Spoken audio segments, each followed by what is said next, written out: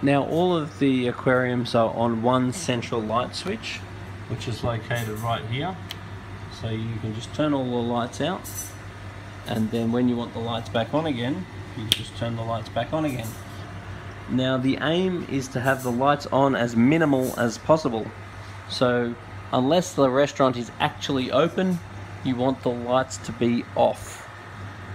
You do not want the lights running for excess amounts of time which can encourage excess amounts of algae, which means that you're going to have to clean the glass more often.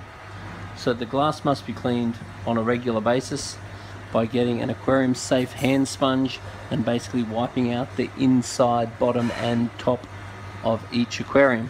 Each aquarium is easily accessed with sliding lids and the top ones have got lights and you just need to fold the lights back which I'll just show you right now before you can access the top.